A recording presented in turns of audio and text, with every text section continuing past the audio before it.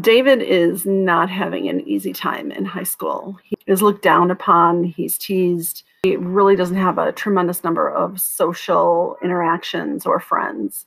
And so he's super depressed. He has an older brother named Kyle that he's super close to. Kyle uh, was very different than him in high school. He was a jock and he ran in the popular crowd.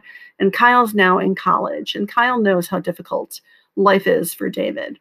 And so he encourages David whenever he can when he's on the phone with them. So when the story opens, David and Kyle are talking, and David um, has decided that he's going to ask a girl out. And Kyle is like, That's great.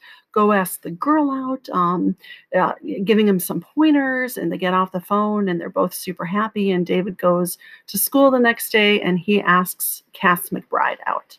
Now, if Kyle had known this, if his brother had known, uh, he would have told David that he shouldn't do that because Cass McBride is not a nice person. It's not going to go well if David tries. And so David tries, he asks her out. She kind of blows him off. She's looking at him like he's, you know, a little bug that she can squash. And um, and they go to study hall, which is the next period, and she's kind of writing this note to her friend who's sitting behind her, and she folds it up and she passes it behind her, and her friend misses it, but David's sitting across the room and he sees this note fall on the floor. And as everyone files out, he goes over and he picks up this note and he learns what Cass really thinks of him. And it's horrible.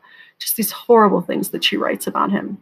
And it's basically the last thing that pushes him over the edge. He takes this note, he goes home, he gets a pin and he pins the note to his chest and he walks out into the front yard and he hangs himself from a tree.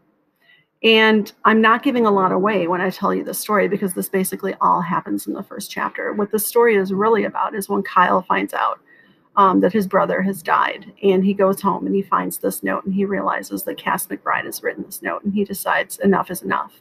Something needs to happen to Cass.